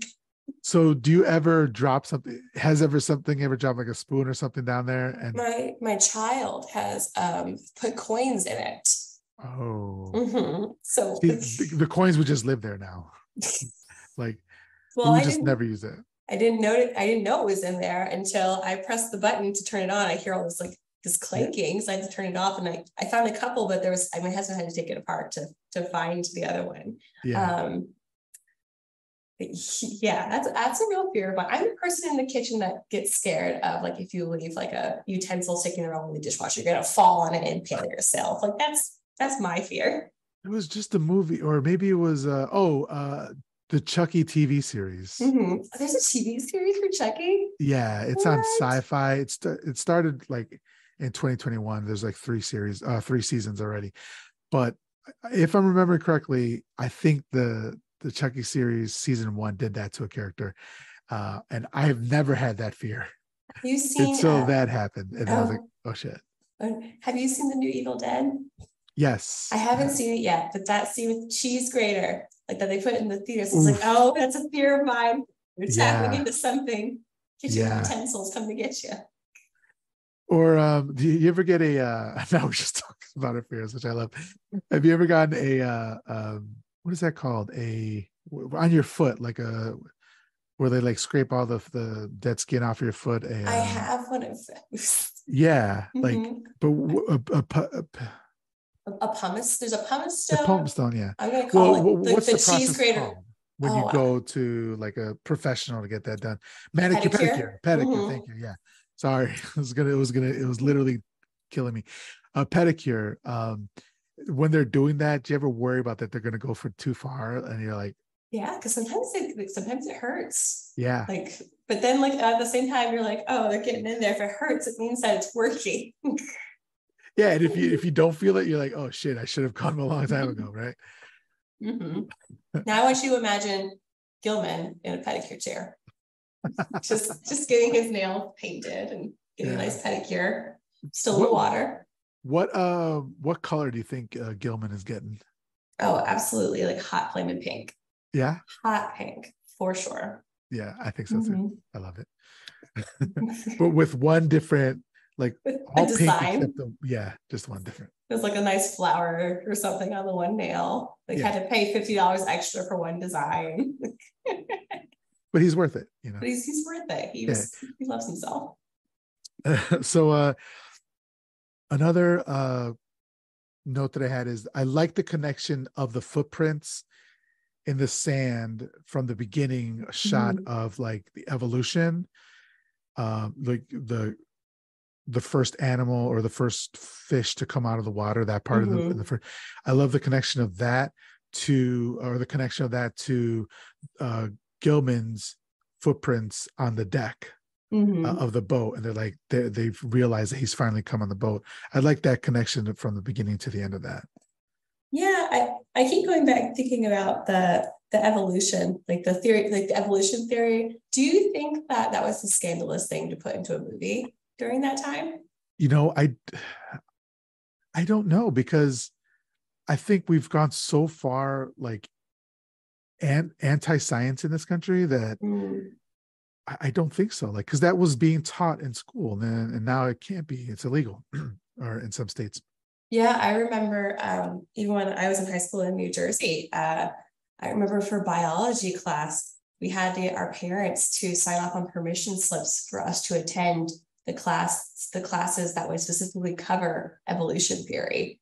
Um, because, well, I think this was my principal was a, uh Jehovah's Witness, and um, we had uh, no shame to Jehovah's Witnesses. I just this is my experience here, by the way. Um, but we had a couple of Jehovah's Witnesses in our class, and he actually pulled them out of the class and said that, oh, look, this is not what we believe in our church. We can't do that. So I, I wonder if it was just him doing that and not like the actual school district, but it happens. Like, it makes you, you know, makes Well, you I- wonder. i went to a catholic school for eight years from first to eighth grade Mhm. and they conveniently skipped past all the evolution talk That's what my we- husband said. He went to Catholic school too. yeah but we sure did have religion class every day so Mhm. you know learning the good stuff um and then i said uh i noticed that they're in their hot boy summer hoochie daddy shorts They when they go swimming like they are high up there. I very I'm, a, I'm a big dude and i very recently got shorts for walking that Mhm. come above my knee which i don't do very often and i was telling my wife oh i got my hoochie daddy shorts. She's like please shut up. Those are not hoochie daddy shorts. And I was just watching them in their. Um, this reminded me of like uh, an '80s horror movie with when guys are playing football and they got the crop top. The, the denim shorts that are cut off like at their like mid thigh. Yeah, and these were they were the coolest dudes in, in the in the whole school. we need real men back. We need But that- men in hoochie daddy shorts. It needs to come back. It's time. It's That's time. that's real masculinity. Yeah. Um, let me see. I do you have a a, a notes? Anything said you I- to?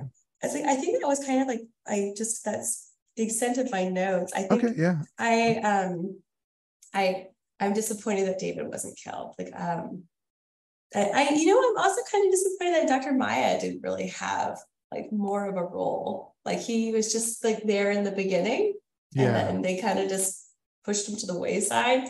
Um Dr. Thompson's character, I feel like I don't know, because he's just sitting there like he's injured, can't do anything. Um, Which is also a plot point in Anaconda.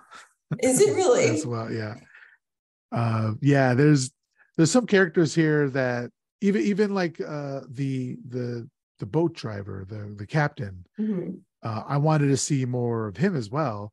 And there's one scene where like they're deciding whether or not to go home, and there was that one part where Mark wanted to go home and David didn't, and then it was vice versa. Now David wants to go home and Yeah. Mark d- doesn't. And Mark's like, "We're going home, or we're not going home, Mhm. right?"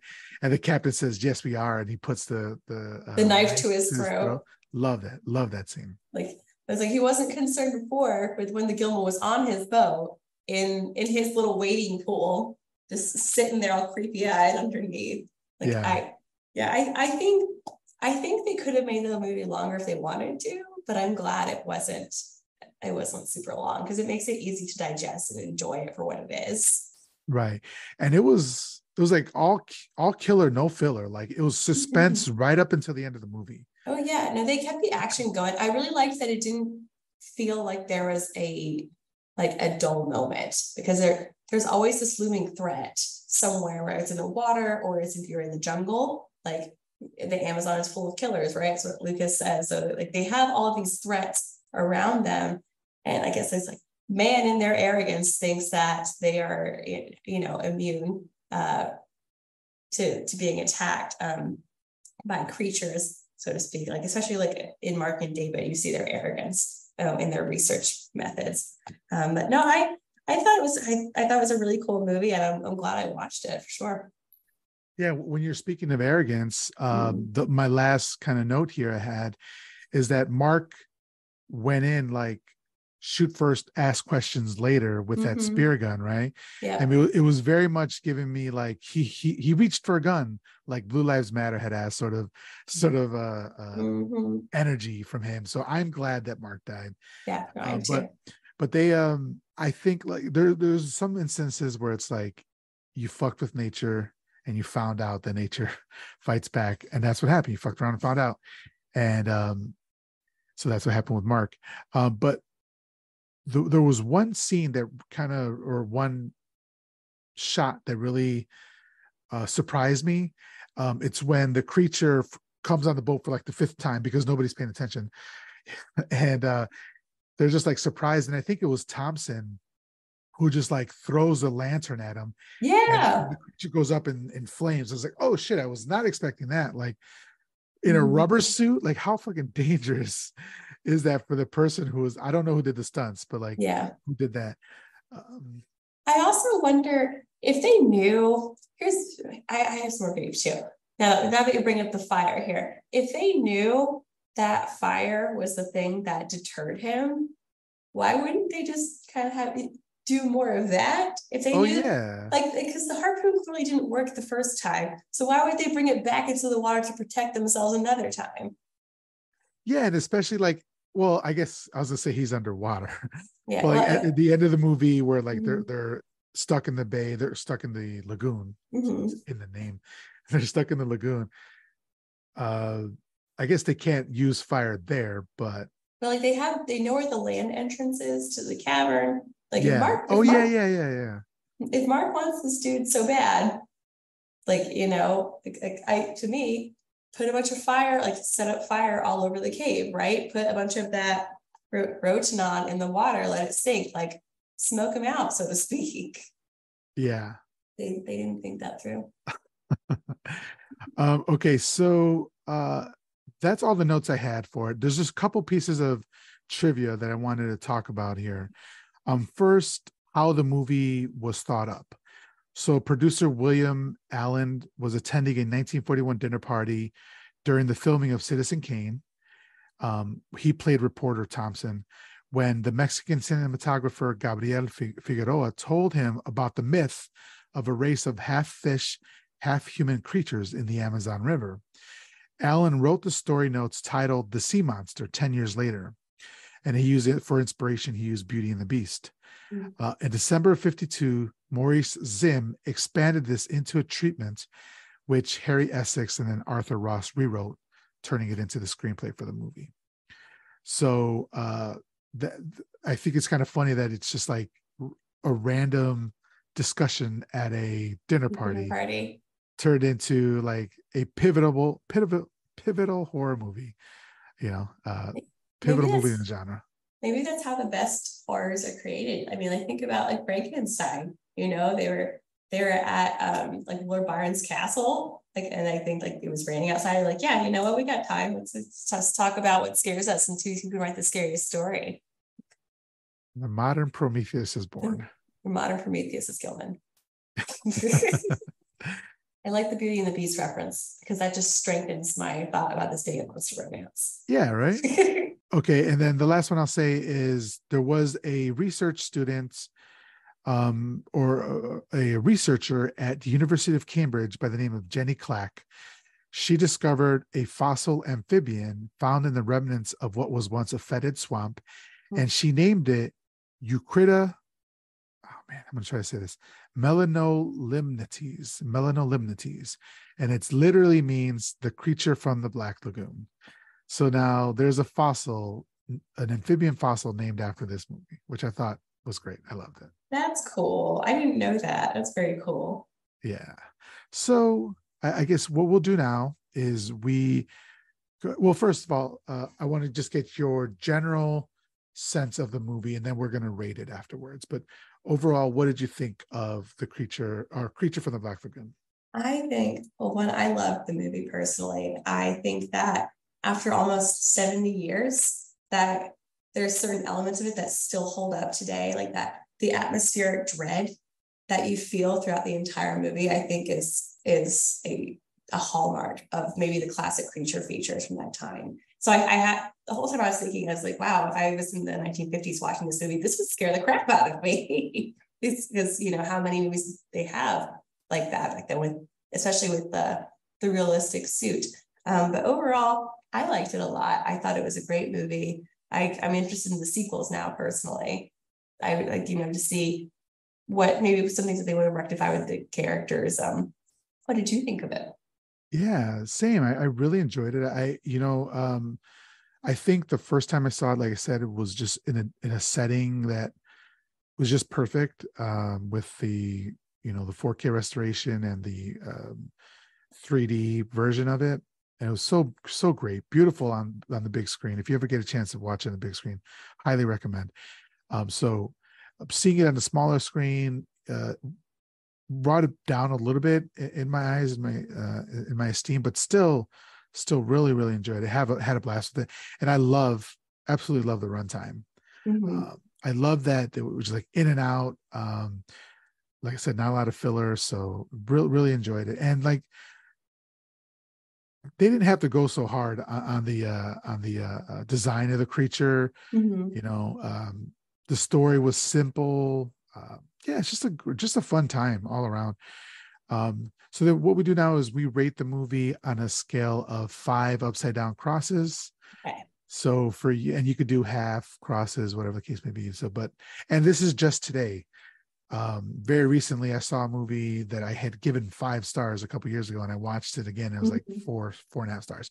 So it changes from day to day, mood to mood. So just how you're feeling now. What would you rate creature from the Black Lagoon out of five upside down crosses? I would say I would give it four out of five upside down crosses because I do think that there were some things that they could have done better. Um, I especially considering that it might have been a transgressive movie for its time with like you know evolution um, and like having a woman be a scientist in a movie, like you know. Um, but I do think that they could have done a little bit more with Kay's character in particular. Um, so I'm docking them not upside down cross for that. Yeah, I agree with the points you made. Uh, I'm I'm at four upside down crosses as well. It's a great movie, and it's actually one of my favorite Universal horror movies. Mm-hmm. Um, I'm not the biggest Universal horror fan. I'm not big into like gothic horror very mm-hmm. much, um, with some exceptions. But so I tend to move uh, gravitate more towards like the Wolfman or Creature from the Black Lagoon sort of thing. So this is my favorite Universal horror movie, besides Abbott and Costello meet Frankenstein. but um, yeah, I really enjoyed it. Uh, so four upside down crosses. It's just it's a blast. If you haven't seen it, it's a definite recommend.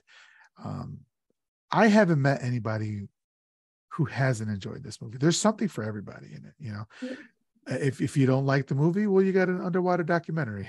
well, you know, I, am glad I, I, didn't think about it until just now. It's like you said, like, like there does feel like there are some gothic elements to this film. Just like you know, I think uh, like if we think about like traditional gothic, how it used to be set in places like Italy, um, things that were felt foreign to the readers of the time, which was England, right? It's it's set in it's set in uh, Brazil, and we have like instead of a house, it's a lagoon, and like all of these mysteries that are underneath the water. Um, and now it's not a, it's not a gothic, mind you, but there are some of those elements there. Yeah. I think.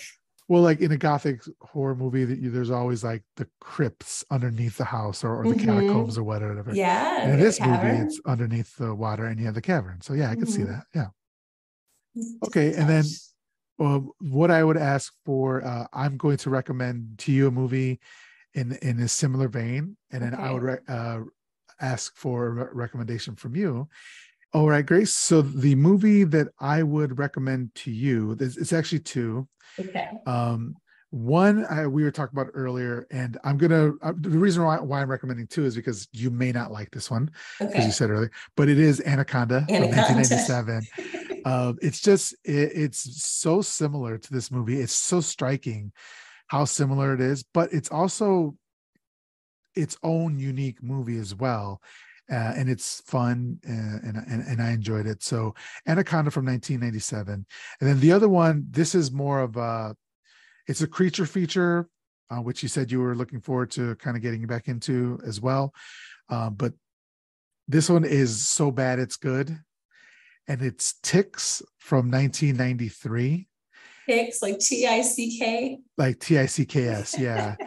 It's a group of troubled teenagers led by social workers on a California wilderness retreat, not knowing that the woods they're camping in have become infested by mutated blood-sucking ticks. Oh my god, that's and amazing. it's got it's got Seth Green in it, and it's got Alfonso Ribeiro, mm-hmm. who is Carlton, and he's playing against type as he's trying to be like this badass gang member, this mm-hmm. gangbanger, and it's so fucking hilarious to see and it's so much fun.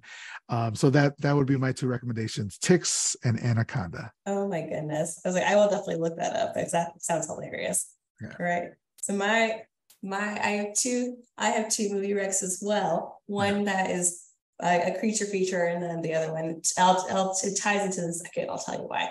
Um, so it is the first is called attack of the crab monsters from 1957. Have you seen it? I have not seen it.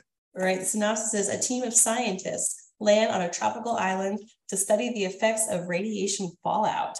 When the island begins to break off into the ocean, giant crustaceans begin calculated attacks on the humans, forcing them to fight for their lives. It, the, the, the poster, it's a little similar to Creature from the Black Lagoon, except it's like this giant crab monster holding a woman in a bathing suit like flailing for her life in his pincers. Love uh, it. Love it. Okay. And then the second movie I'm going to recommend because I'll never shut up about this movie is Microwave Massacre. I've heard of it, but I haven't oh, seen it.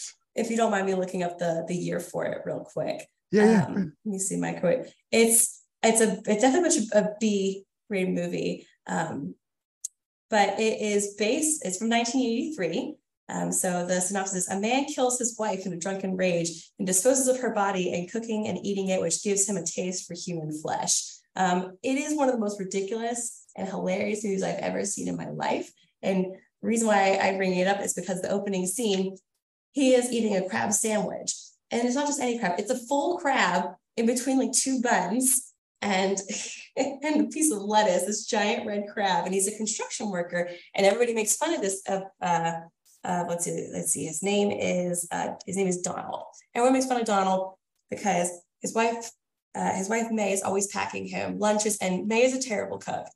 She just can't get it right. Example, she makes a crab sandwich, and basically he comes home in a drunken stupor because she's made something. It, the whole point is he kills his wife over making like really crappy food, which is a terrible reason to kill your spouse in general. Um, but it's just so comically bad that you have to watch it and he kills her, forgets he kills her, wakes up, is like, wow, I'm so hungry in the middle of the night. And oh, he's like, wow, we have some leftovers in the fridge. Thanks, May. Goes to the microwave, puts it in like this is delicious. What is it? And then he sees, oh my God, it's like a foot, and it kind of goes on from there. It's it's very like it's coming off of like the like the 1970s movies where it's just like there's always like um I mean I shouldn't say you know, horror movies don't have sex and horror, but like it, when it was just like in your face sex and horror. Yeah, yeah, yeah. um, just it's it's so comedy bad, and on top of it, uh, the main character Donald, the actor Jackie Vernon, is the voice of Frosty the Snowman in the cartoon. Holy shit! and and that's how we're gonna end the show. I want to continue talking about this movie and how you came across it. We will continue to do that in the Sunday school sessions, which is the Patreon exclusive uh, show. If you'd like to support the show, patreon.com slash my horror confessional. Um, so we will continue our conversation there. Yes. Uh, Grace, if you can let everybody know once again how they can support you, where they can find you, all that sort of stuff. Sure, yeah. You can go to my website, www.spillinggrace.com, or follow me on social media at spillinggrace. Um, I, I'm on Instagram, Twitter, X, whatever it will be tomorrow, uh, Bluesky, and Threads. Um, and you can also check out my books at curiouscorvidpublishing.com. Awesome. Thank you so much, Grace, for being on the show. This was an absolute blast. I really appreciated it. Hope you had a great time. I did have a great time. Thank you so much for having me. Of course. Everybody, thank you for listening, and we will talk to you next week.